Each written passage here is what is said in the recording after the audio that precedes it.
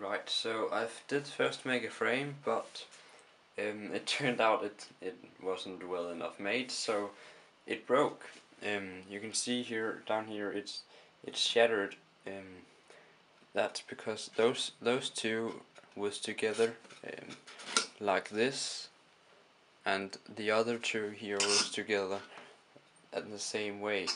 But that small piece of wood wasn't able to, to hold um, those four motors.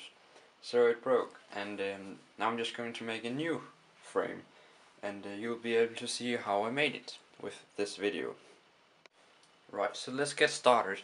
Um, this These motors uh, is just mounted with some basic screws and uh, bolts and, um, and some nuts and uh, I'll just take them off and you can see uh, what I'm going to do next. Okay, I took off uh, all the four motors of the uh, four booms. And you can see here these um, these holes in the booms were where the motors were mounted. Um, and the next thing I'm going to do is these booms here have a just a bit of, of wood sticking out here. I'm just going to cut that off from here. I'm just going to cut it off um, so I'll get four booms with the exact same length. Um,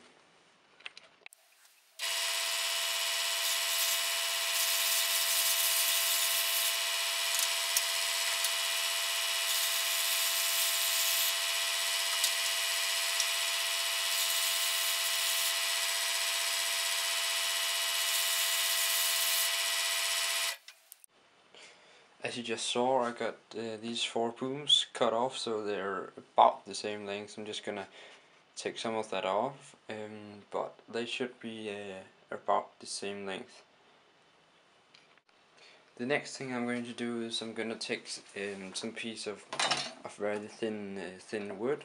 Um, I think it's uh, two and a half millimeters uh, thin, um, and I'm gonna cut out a um, a frame for the upper side that's gonna hold up uh, up here and a frame for the uh, bottom side which is going to be under it.